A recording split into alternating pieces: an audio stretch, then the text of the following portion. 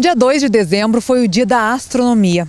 E nós do programa Glamour ficamos então curiosos para tentar entender um pouco mais então dos astros e o que eles podem interferir no nosso dia a dia. E o nosso convidado é o físico Diego De Seja muito bem-vindo ao programa Glamour. Diego, sem delongas, me diga, o que é astronomia? Então, astronomia é a ciência que estuda os astros, os seus movimentos, suas características físicas. Todos os astros que contém no universo é estudado na astronomia. Seu movimento, suas órbitas, suas dinâmicas, é isso que a gente estuda na astronomia. E que interferência os astros trazem diretamente no dia a dia? Nenhuma, nenhuma interferência.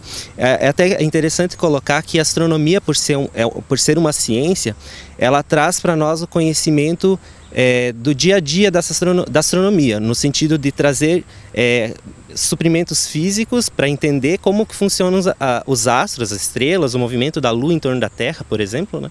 E a astrologia, que é uma pseudociência, ela não traz esses fundamentos. Ela diz simplesmente que ela influencia na vida das pessoas. Mas se a gente levar em consideração, por exemplo, a órbita de Plutão, a órbita de Plutão é muito grande, ele demora mais de 200 anos para dar uma volta em torno do Sol, né? Então ele vai estar tá por muitos anos dentro de uma constelação. Então aquela pessoa, vamos supostamente que nasceu lá naquele signo, está dentro, Plutão está naquele signo, ele vai sofrer uma influência de Plutão a vida inteira. Então não, não tem essa lógica.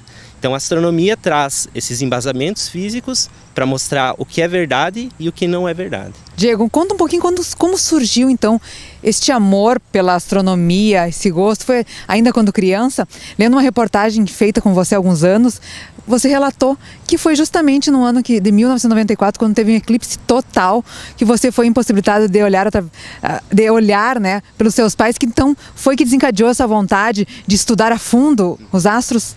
Então, em 1994, em novembro de 94, aconteceu um dos maiores eclipses totais de melhor visibilidade na América do Sul, né? E a, e a imprensa começou já a divulgar vários dias, né? Pelo cuidado de se ter a observar o eclipse, pela questão de prejudicar a visão, mas desde que tivesse um cuidado, um, é, usasse um equipamento apropriado. Uh, um dia antes, uh, uma semana antes, meus pais foram à igreja e lá na igreja né, falaram não, não deixe seus filhos porque eles podem ficar cegos, mas não tinha esse discernimento de entender exatamente do que, é, o que era esse cuidado que precisava ter.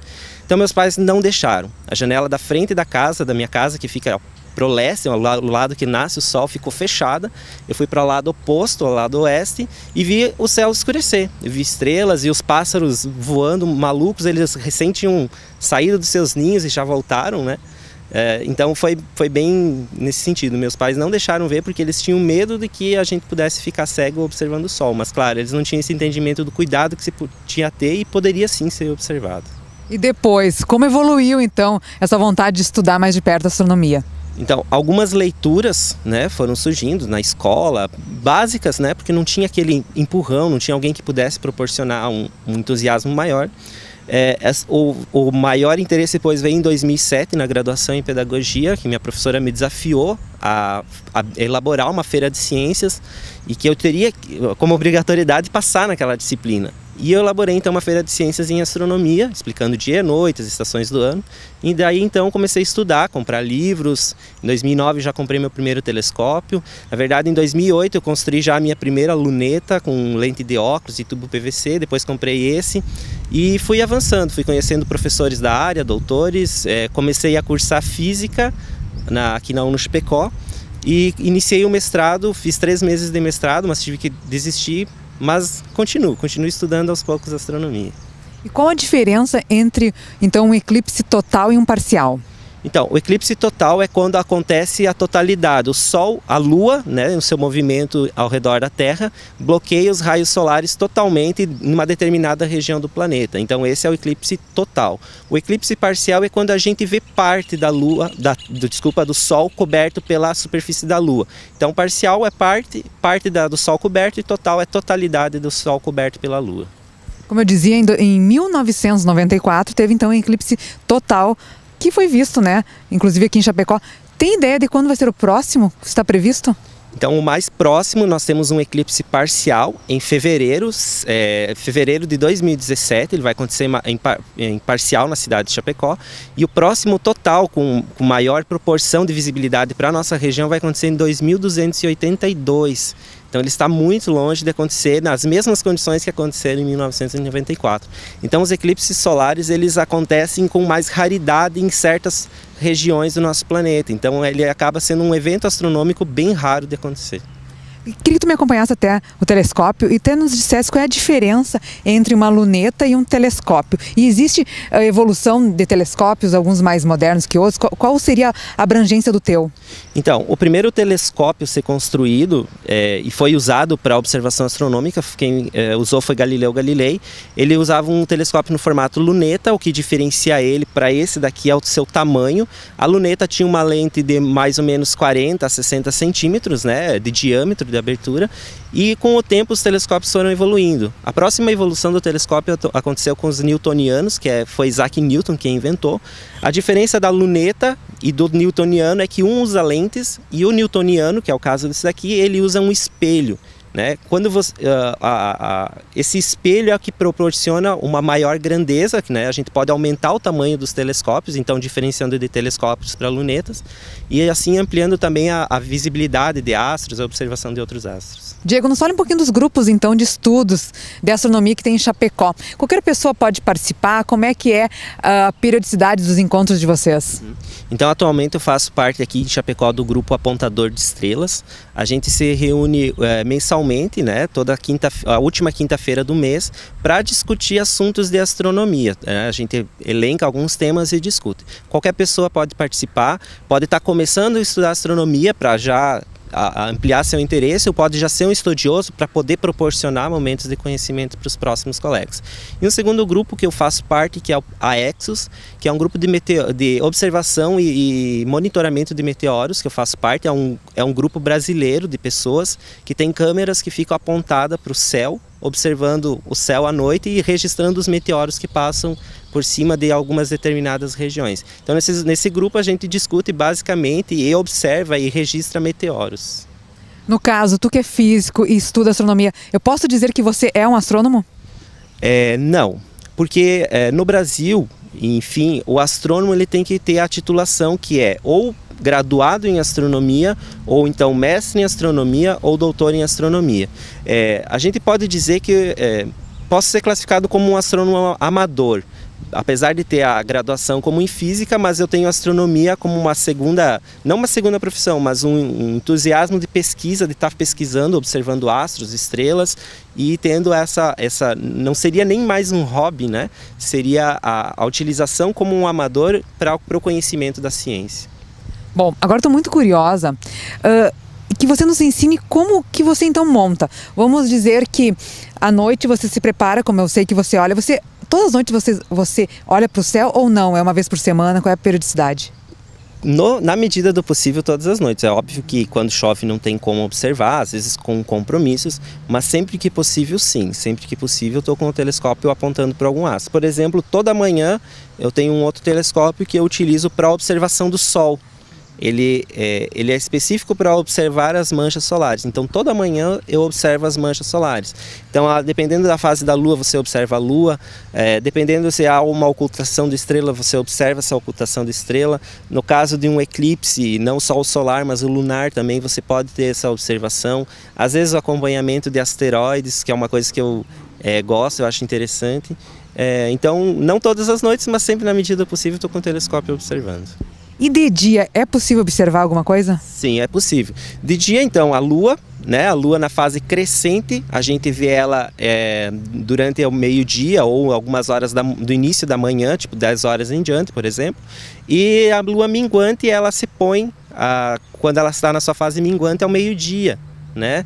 Então a gente consegue observar a Lua em vários dias do mês durante o dia também. O Sol, é, desde que com equipamento apropriado a gente cons consegue observar o Sol. Em algumas ocasiões é possível observar, por exemplo, o planeta Vênus. Né? Ele é um planeta bem brilhante, que a gente tem uma fácil observação no céu, né? à noite. No, agora, no entardecer, a gente vê uma estrela, uma estrela, um ponto bem brilhante no final do dia. Esse ponto é Vênus, e ele é tão brilhante que às vezes a gente consegue localizar ele durante o dia e observar ele também. Tá, então agora Estamos de dia, de tarde, está bem ensolarado, poucas nuvens. Então tu garante que a gente vai conseguir observar alguma coisa agora. Observar a Lua. E como é que é a tua montagem? O que, que você coloca a partir de agora? Então o telescópio então ele tem basicamente um espelho que fica no fundo, um espelho secundário que fica aqui, que é nessa aranha que a gente chama, uh, e ele tem uma projeção numa ocular, tá? Que é onde a gente vai observar a imagem final desse, do que está, estamos recebendo, tá? Então a imagem final vai ser aqui, tá? E a gente monta.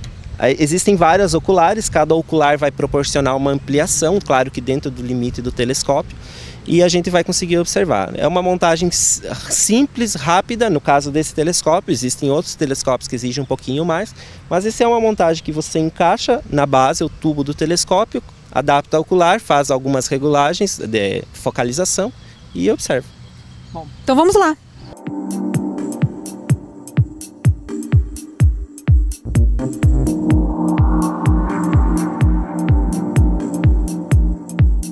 Então, a, a, a, a, Lua sempre está em fases, né? A gente, cada, cada momento que a gente observa a Lua, ela está numa posição diferenciada. É, no caso hoje, a gente está vendo a Lua numa fase quase crescente, né? Ela está indo para a fase crescente e a gente pode identificar aqui no hemisfério sul essa fase crescente, olhando a Lua no formato de um C, né? Então, identificando a fase crescente. E já no caso da Lua minguante, a gente veria um D, um decrescente, né? Então assim fica bem fácil de poder identificar em qual fase da Lua também a gente está. Diego, depois de muito estudo, uh, vem a recompensa? Acredito que sim, porque eu sei que esse ano tu foi então agraciado com um prêmio. Conta um pouquinho mais desse prêmio, então. Então, esse ano, é, no, no, quinto simpósio catarinense de astronomia, é, Todo ano, a, o, o, Núcleo de Estudos e Observação em Astronomia José Brasilício de Souza, ele entrega um prêmio para pessoas, né, uma comenda, é, em pessoas que foram referência ou que são referência em astronomia em Santa Catarina.